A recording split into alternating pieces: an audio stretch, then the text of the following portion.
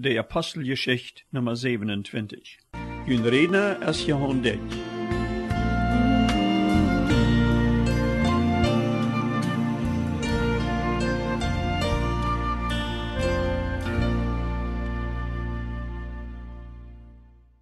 Vandaar wil we dan de predigten over de Apostelgeschichte te eng brengen. Laatste week hield we door op wo Paulus von der Reimer vastgenomen wordt, zodat de Juden hem nicht anbringen können. Hij wordt gefährdet gerecht gebracht, aber hij kon kracht dat Rechte sein, zodat de Pharisäer en de Sadduzäer sich untereinander anfangen zu streiten. En dadurch kriegen sie keine Einigkeit unter sich, en so kommt es zu keine Beschuldigung, wat wie de Reimer vertalen deed. De Juden wären aber so doll, dat de Rijmische soldaten am met gewalt van aan wegrieten moesten. En zo we van der zijn, wo de Juden ihre Kleur gegen am nicht abgehoben wordt. Als dit alles passiert weer, en Paulus war der Träg in der Baraken weer bij de soldaten, dann kam die Herr bei Nacht am, en wir lesen in Kapitel 23, 11 so. Aber die kommende Nacht stund der Herr bei am und seid, Siehe Trost, Paulus, Zoals du in Jeruzalem für mich Zeichnis gegeben hast, so musst du auch in Rom für mich Zeichnis geben. Ist es nicht wunderbar, wo wir immer wieder in der Apostelgeschichte sein, und besonders in Paulus sein Leben, wo die Herr immer wieder hier und da Paulus dann Trost bracht, wann er dort braucht. Und weet je, die Herr deed auch für uns. In die Tiden, wann wir wirklich Trost brauchen, ist er immer kracht da, en hij jaft ons vielleicht durch ein Wort von Freund oder Bekannte den Trost, den wir groß dann brucken donen. Hier aber passiert wir, als die Soldaten Paulus von den Juden wegreiten, wie dit. Sie hadden einen Plan entwickelt, wodurch sie würden proben, Paulus umzubringen. Und dat wir so, Paulus seine Saste ersehen, also Paulus sein Neffe, hier door manche Juden, wat sie sich planen heiden. Vierzig Mann hadden geschworen, dat sie nicht eten oder trinken würden, was sie Paulus doodgemerkt hadden. En dit weer die plan. Sie würden den Kommandant war door am Berden, dat sie Paulus noch einmal het gerecht bringen würden, ferm rot. Dann würden sie taufahren en am doorkraakt ferm rot doodmerken. Aber was sie nicht eingeworden wären, wird Paulus sein Neffe, ein junger Jung, dat touwgeheerd had. En die ging naar Paulus en die vertaalde hem dit. En dan nam Paulus aan nom commandant en zei hem, dis jong heeft die wat te vertalen. En wie weet je dan wo dat wieder ging? Dis jong vertaalt diesem höheren commandant alles wat de Juden geplant hadden. En dezelfde nacht, jo an demselben Abend, mögt der römische commandant alles reid, 200 Soldaten en 70 Ritter. En met deze taub namen ze Paulus en leden an die Nacht noch los naar Caesarea, wo der Gouverneur Felix sein Amt uitviert. Wat mit diese 40 Männer passiert ist, die geschworen haben, sie würden nicht eten oder trinken, weit wir nicht. Ob sie wirklich sind gedarscht oder gehungert, dat weit wir auch nicht. Aber eins ist klar, ihr Plan schafft nicht. Als Paulus dann in Caesarea bei den Gouverneur Felix wir, kamen no fünf Deel de Juden waren van Jeruzalem met ihren afkoot Tertullus te gaan om Paulus ver Felix te beschuldigen. Tertullus reed sehr verächtlich über Paulus en beschuldigt am, dat hij alle een Trouble mög en had versucht den Tempel te veranreinigen. Paulus wordt dan opgefordert zich te verteidigen. Erstens seht hij zum Gouverneur, dat dit gar nicht stemmt, wovon sie am beschuldigen deiden. Hij weer friedlich am Tempel gewast en had door met keinem gestreden om een oproer te merken. En de tweede weer, hij zei, lot an dat bewiesen, weil sie haben keine Klär in mij, wat sie bewiesen kennen, buiten dat ik an die Auferstehung van de Dodes geleven dou. Hij bekend door ganz klar voor diesen römischen Gouverneur, dat hij an Jezus geleefd en dat Jezus wordt wederkomen.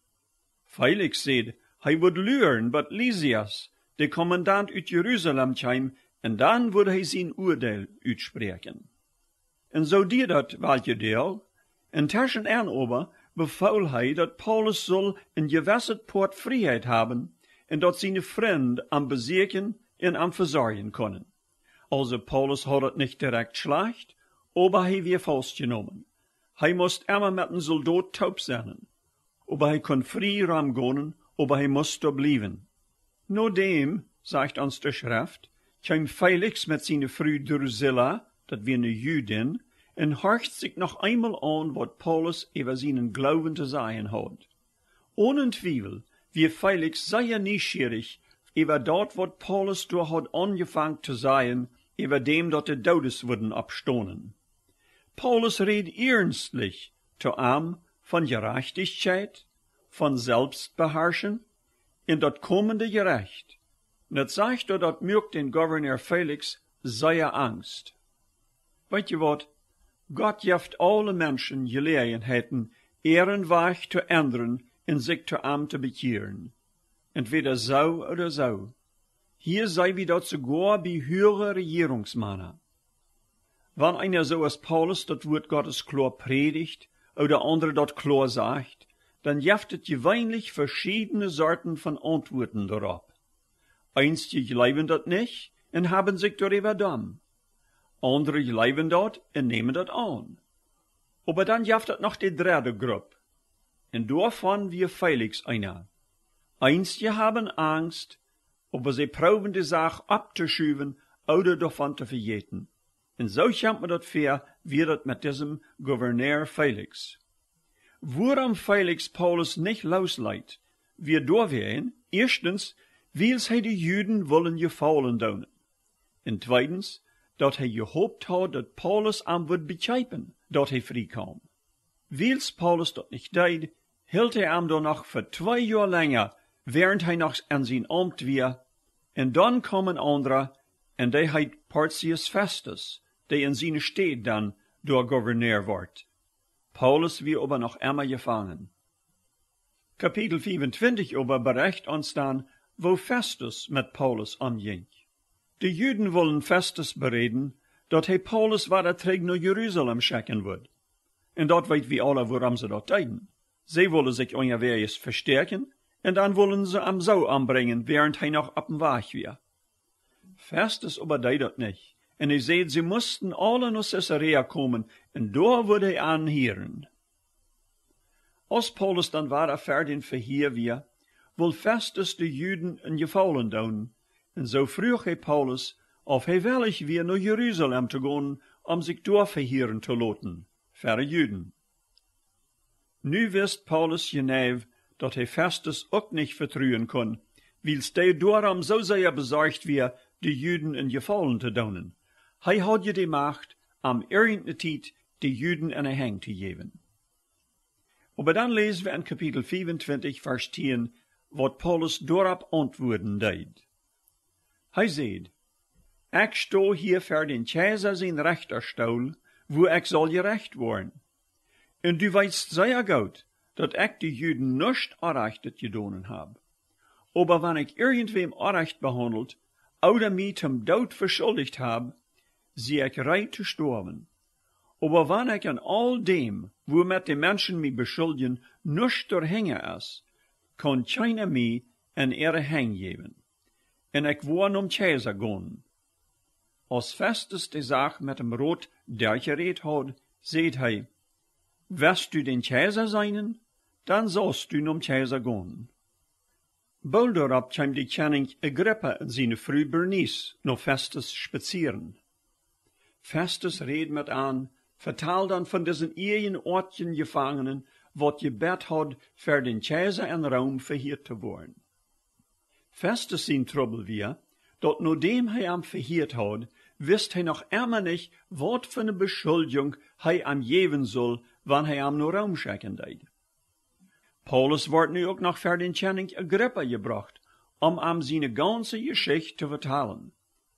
Paulus nimmt diese Gelegenheit wahr und vertelt an ook sein Zeichnis. Hij je hier gemerkt, dat Paulus hier für drei höhere Regierungsmenschen sein Zeichnis jeft? Erst wird Felix, dann wird Festus, nu ist es de Kenning Agrippa. dat er fällt kragt, wat Jesus even am seed, dat hij soll voor am in Zeichnis zijn, verhöre Regierungsmenschen in Verkenningen. Paulus schämt sich rein nicht, en hij vertelt an kragt, wat bij am passiert weer, wo er sich bekeerd hat, wo er eerst door jaren gewast weer, en wo hij aber ganz verändert wordt durch Jesus Christus. En dan, in Kapitel 26, 27, vroeg hij den Channing zo, König Agrippa, geloofst du wat de profeten zeiden? Ik weet dat du dat geloofst. Dan zei Agrippa te Paulus, Du fehlt nicht viel, dann hast du mich bereit, in Christ te worden. Paulus zei, mocht Gott geben, of het nu an veel oder wenig fehlt, dat nicht bloß du, aber alle, die mich nu hören, zonen worden mochten als ik sie, buiten diese Keden. Agrippa wie noch ein Beispiel, von wo Menschen op das Evangelium antworten. Wie Felix sagen wie dat er Angst hat, aber dann dat proeft abzuschuiven. Hier bij Agrippa wird het meist so. Hij weer meist so weit, dat hij zich bekeert, aber hij deed het nicht. Damit wir hij dan noch kracht so verloren als vorher. Meist in Christ worden, erst noch lang nicht in Christ te worden. Ik zie me zeggen, er zijn vele wat mij van der heren, die han dit al verken geheerd, dat einer Jezus moet aannemen. Dat wanneer einer nicht verloren gonen will, dann moet einer sich bekehren. Paulus predigt diese Botschaft immer weiter, auf dat Juden wären oder Heiden. Und hier in diesem letzten Port von Apostelgeschichte sehen wir dort ganz besonders, wo Paulus zu den Heiden predigen det. Und das wären besondere Heiden. Das wären Regierungsmänner, hochgestellte Menschen. Aber die Trouble bei den Menschen ist überall dieselbe. Sehr viele Menschen haben Angst, wenn einer von der Ewigkeit redet. Und vielleicht hörst du von der meine Stern, in die ja das kriegt so. Du feilst die unmöglich von Bernen, wann du wort von der Ewigkeit gerät, wann du wort vom verloren gonen gerät. Dat will wir alle Leiber nicht hören. Wir mochten Leiber wat makel gerät hören.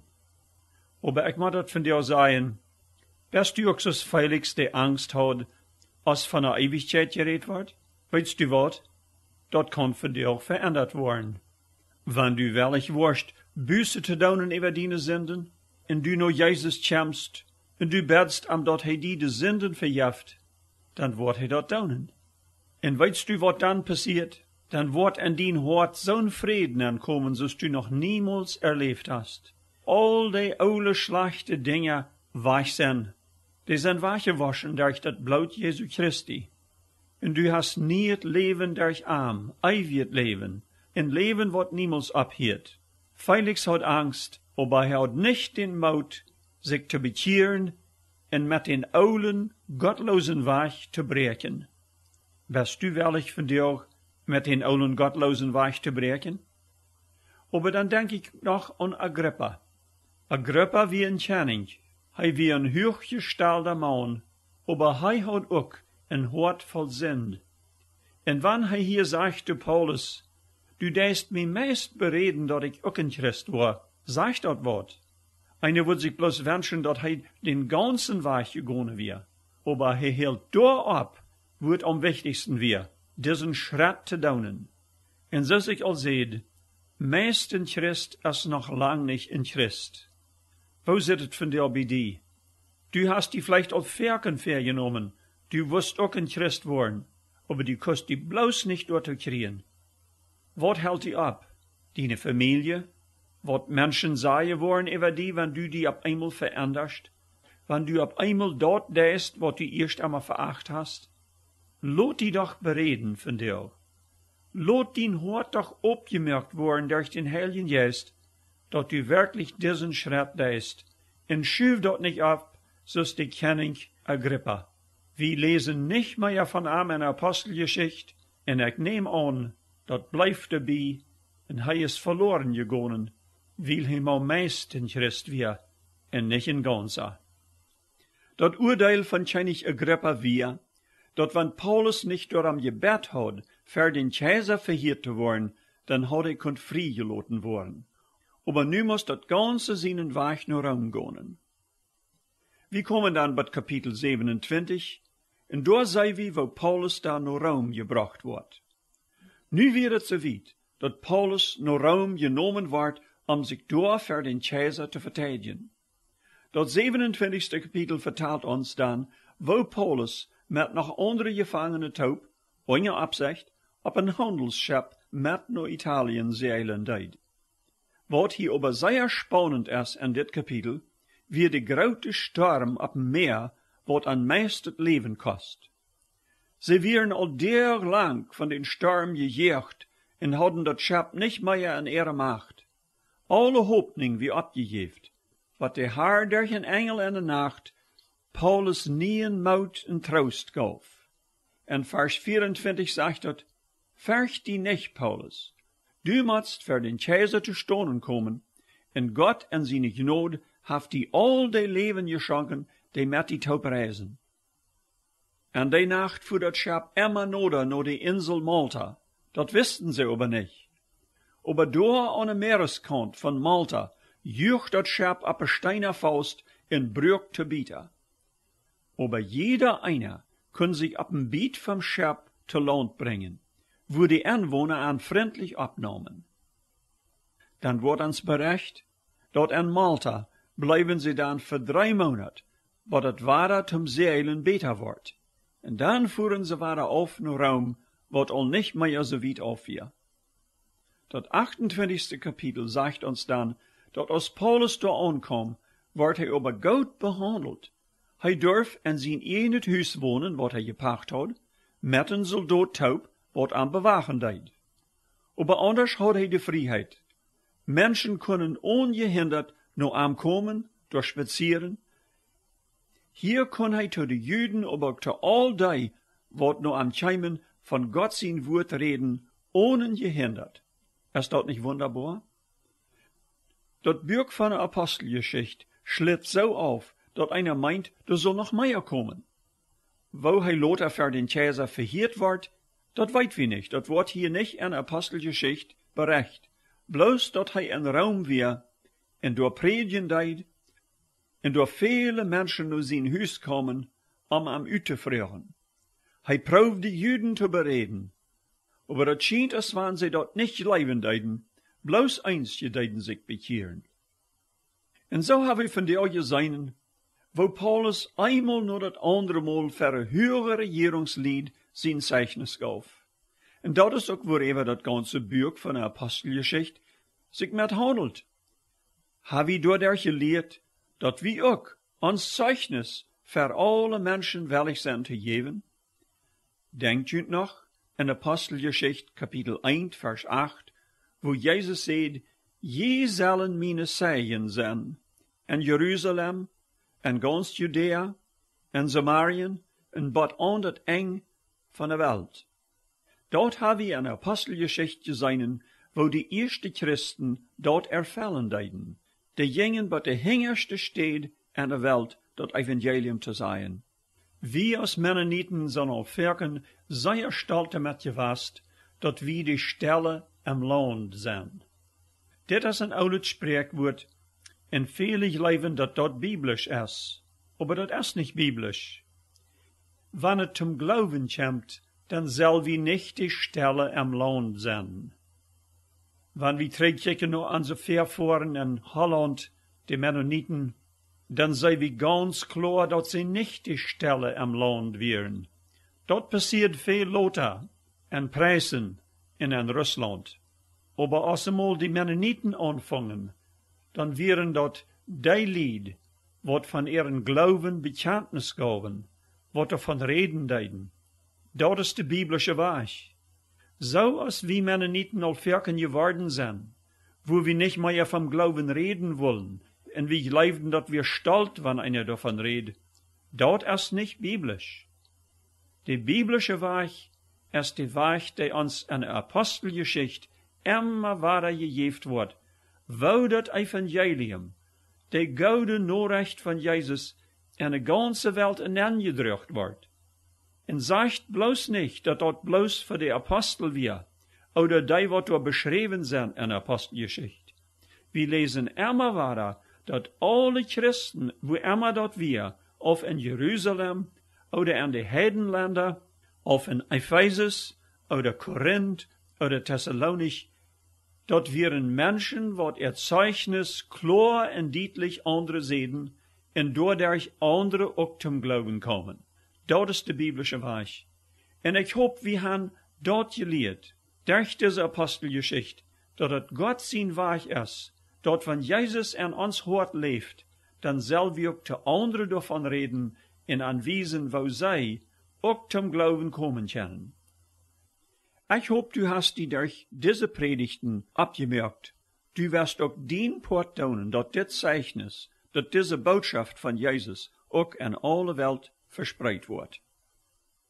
Und nu müssen wir zum Schluss kommen, wir wollen noch zu beten. Lieber Herr Jesus, wir danken dir weiter für das Buch von der Apostelgeschichte, wat uns dat alles gelehrt haft. En ik bid dat du uns mocht te true Zeugen Jesu merken. Wir beten darum in seinen Namen. Amen. Wann je noch Fragen haben, oder mit irgendwem reden mochten, über dort, was je auf dit Programm gehört haben, dann schrieb doch an Johann Ditch, Box 361, Blumenurt, Manitoba, Kanada. R 0 A 060. Meine Telefonnummer ist 204 346 0523. Noch einmal 204 346 0523. Ik wens je allen een goede weer. Op hier.